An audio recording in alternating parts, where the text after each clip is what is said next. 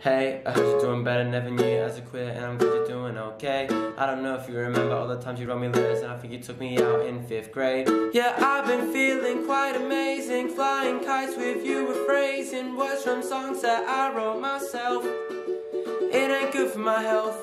Hey everyone, so in this tutorial I'm going to be showing you how to play Lovesick by BoyWithUke on the ukulele. So for this song here, it's going to be a little bit more complex as we have to learn four different bar chords.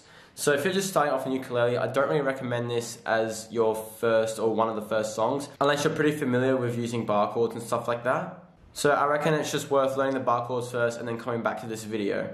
So for our first chord, we're going to be learning our A major bar chord. So we do this just by barring the fourth fret with our index finger. So next we're going to be placing our second finger on the fifth fret of the E string.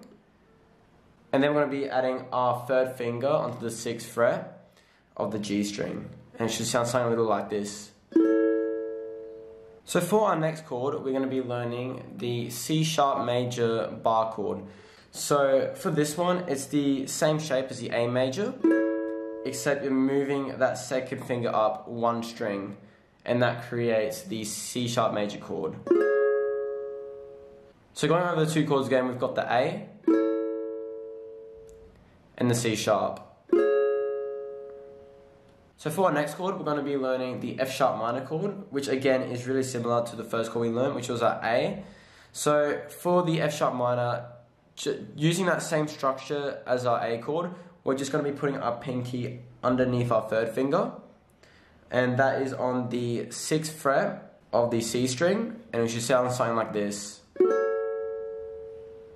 Also, quick tip for the F sharp minor, if you didn't want to bar that 4th fret, you could just use your index finger to play it. But I just find it easier just because like all the chords are using the bar chords, it's easy just to switch between them. And then also just sliding up as well. So for our last chord, which is our D major, instead of barring our 4th fret here, we're going to be sliding up one to our 5th. And then we are going to be placing our second finger on the 6th fret of the C string, and then also our third finger on the seventh fret of the G string.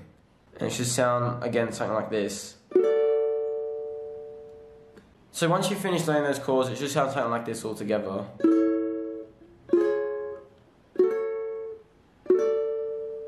Okay, so starting with the verse, what you're going to be doing is playing each of those chords just once. So you're just going to be doing a quick strum, so like just like this. So we'll give that one a shot, so that's...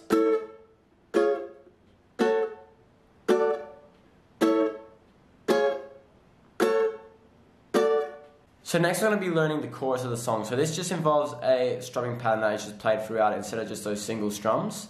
So for our strumming pattern, it's going to be down, down, up, up, down, up. And that's just going to play throughout the entire chorus. So so using the first chord we learned, we're just going to be going down, down, up, up, down, up, down, down, up, up, down, up. Having that strumming pattern in mind and using the chords, it should sound something like this.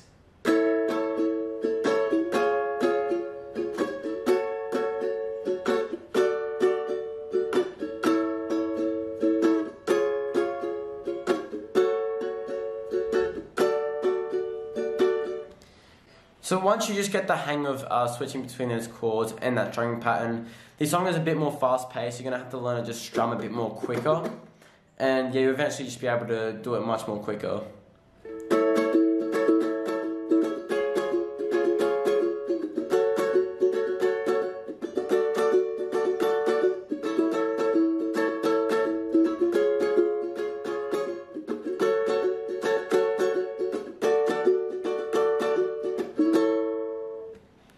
So I hope you guys enjoyed the tutorial. If you guys want to see some more BoyWithUke um, tutorials or even just any tutorials in general, be sure to drop them in the comments below.